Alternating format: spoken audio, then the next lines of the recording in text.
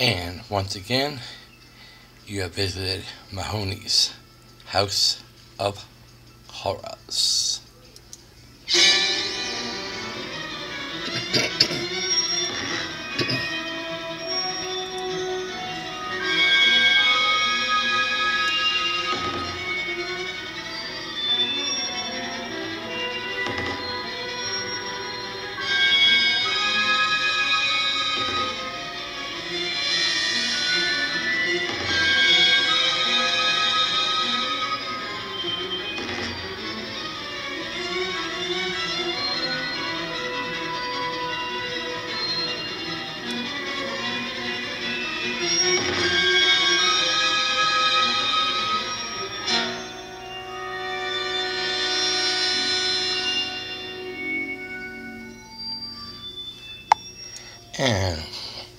welcome to another edition of Mahoney's House of Horrors. By the soundtrack in the back for you Friday the 13th fans, you know we're doing Friday the 13th Part 5. So, in the last episode, we left uh, with Tommy killing Jason again. Jason died once again, but you know, Jason never really dies, so. Part 5, we see an older Tommy. You know, he's recovering from, you know, the traumatic experience, and he's shipped away to um, Pinehurst, which is a, a clinic for young men or young youth uh, who, you know, are trying to recover back to the road to. Uh, you know, getting ready to go back into the world and and Tommy ship there, but you know, Tommy's situation is a lot different from a lot of the kids who are there. and we never do find out like what happened to uh, you know his sister from part four, so you just see a picture and this Tommy brings a picture with you know his mom and his sister and the Jarvis sandwich. and this time we're introduced to a bunch of kids who, you know, have some uh, stability problems at Pinehurst. You know, we have um, Joey, you know, the the lonely child who, you know, he's kind of a a man trapped in, with a child's mind you have uh, Robin, you have um, Violet, uh, Pam, who is one of the, the counselors there. Uh, you also have um,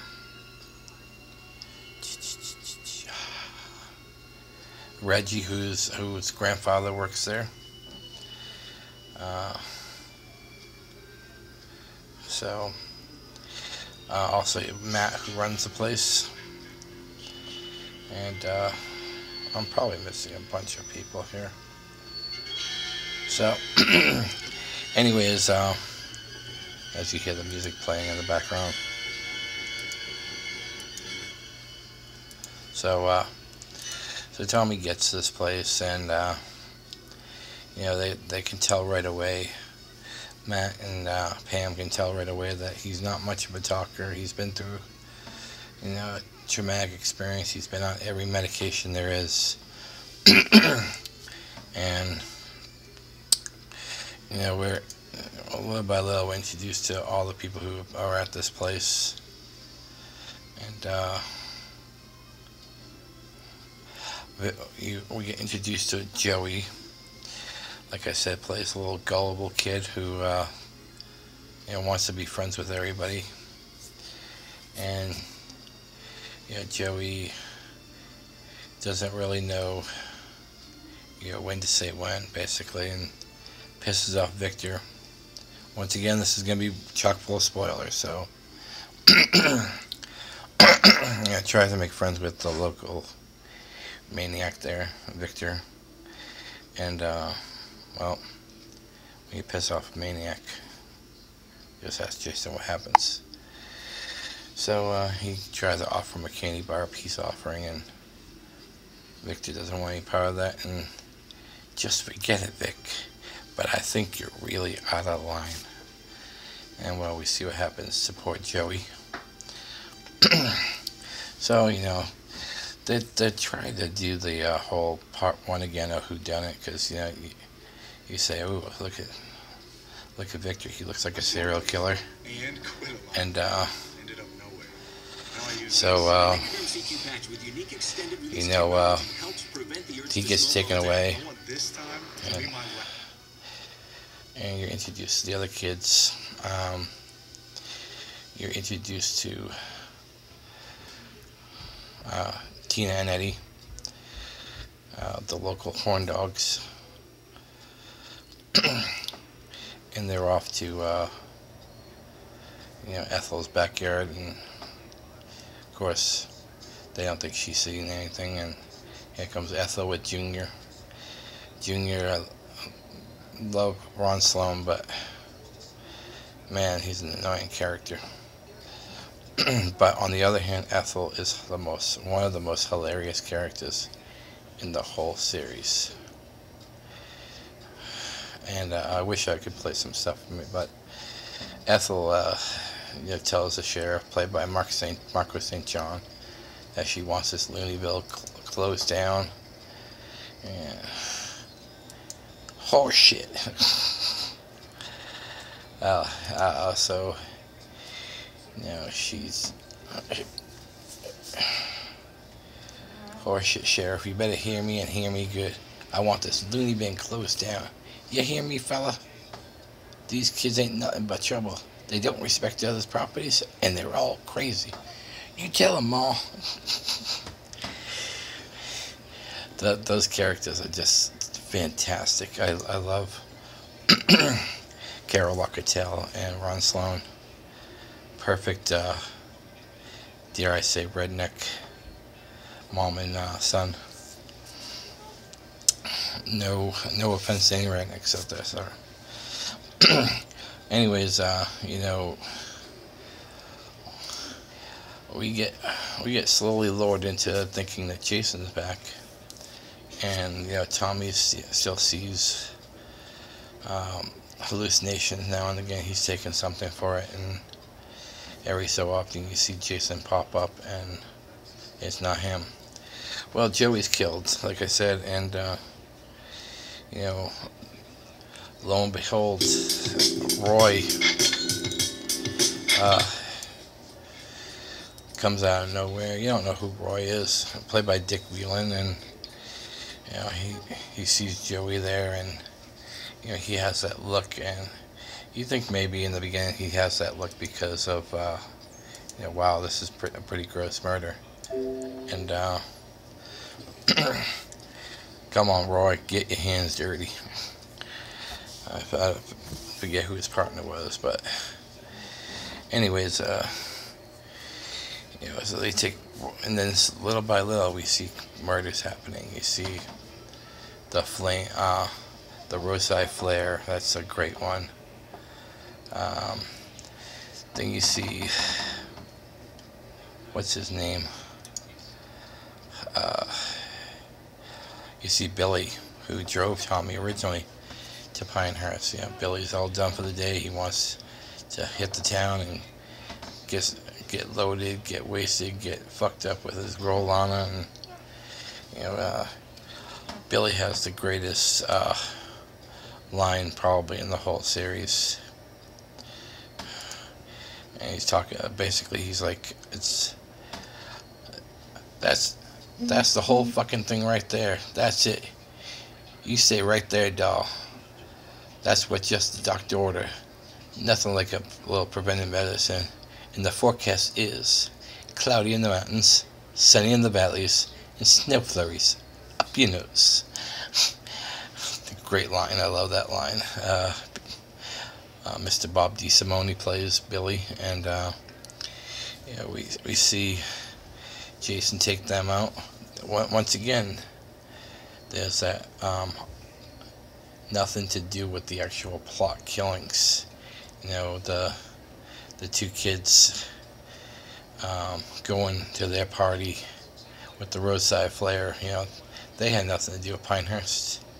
You know, they heard about it. They heard that one of the crazies got killed, and you know they were all Pete was all gloating about it, how all those wackos should get killed, but they get killed for no reason. And then you get Billy and Lana who have no reason to get get killed, but they're there, and Jason decides, well, we think it's Jason. decides to take out his fury on them. and then you have um, you know, Tommy slowly adjusting to his surroundings now and doesn't like his, uh, when Eddie touches his masks and beat the living crap. So there's that scenario again. First he had Victor uh, kill um, Joey, and then now you have Tommy flipping out and beating the crap out of Eddie. So there's that like, well maybe it's him. And you know, Tina and Eddie are taken out. Ironically, not far after that scene. And, uh, you know, you're thinking, wow, Tommy really didn't want that mask touched. You know, you see some TNA with, uh, and, and a few of the girls here. You see some TNA with Julia Cummins uh, playing Robin. You see some TNA with uh, um, Tina so.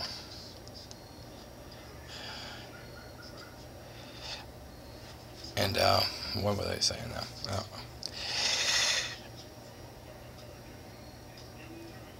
So, yeah, now that all these murders are happening, and Sheriff, uh, Sheriff Tucker is under the heat from, uh, Mayor Cobb, I believe it was. And, uh, you better get me a live suspect this is your Jason Voorhees.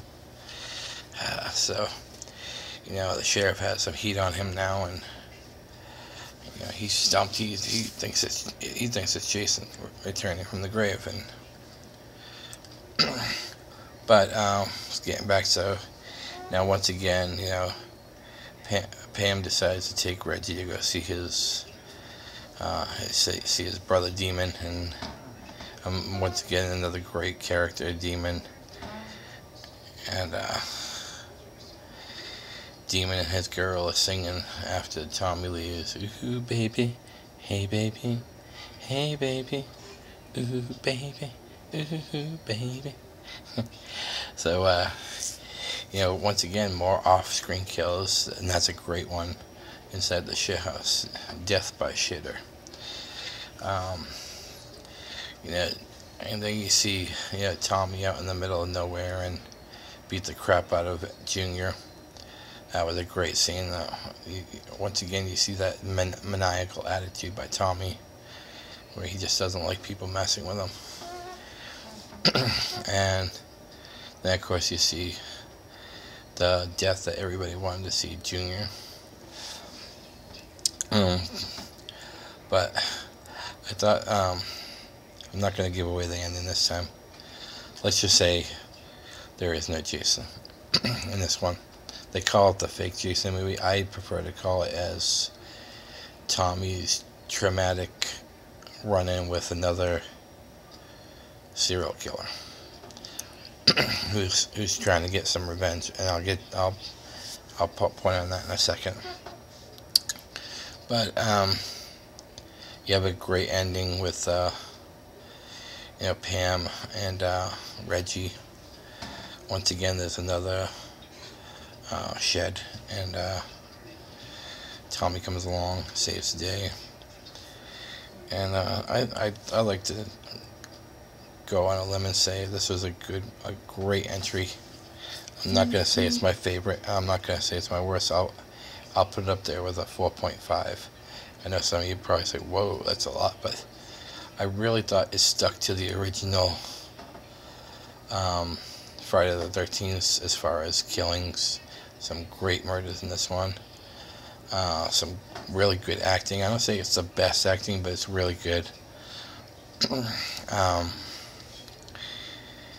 you have the surprise of like three people surviving on this one. You, see, you have Tommy, you have Reggie, you have Pam. Um, So, and then, of course, you know, you have some great supporting cast. Once again, and this is what Friday the 13th always seems to get. They always get nice young supporting casts. I'm going to throw some shout outs here. Julia Cummins was great as Robin. Um, once again, for a, a, small role, Billy was a great one with Bob C. DeSimone. Tiffany Helm was great as Violet. Uh, Carol Locatell, Ethel. Uh, Miguel Nunez Jr., excellent. Shavar Ross, excellent as Reggie. and then, of course, you got Melanie Kinnaman, one of the best survivors, if not the best. And uh, I'm going to give this a 5, so uh, I hope you enjoy this one, and I'm out.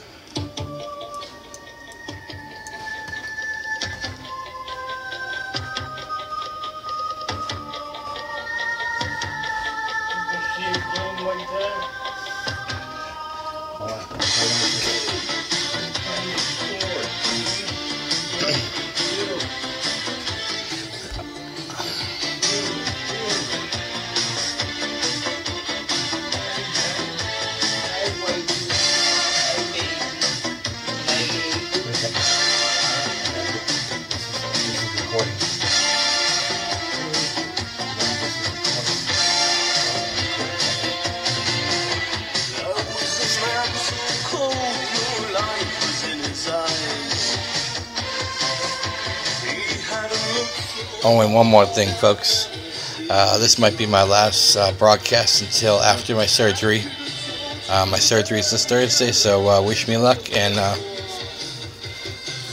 I got my good luck charm here, some Jason Love, and see you again on Mahoney's House of Horrors.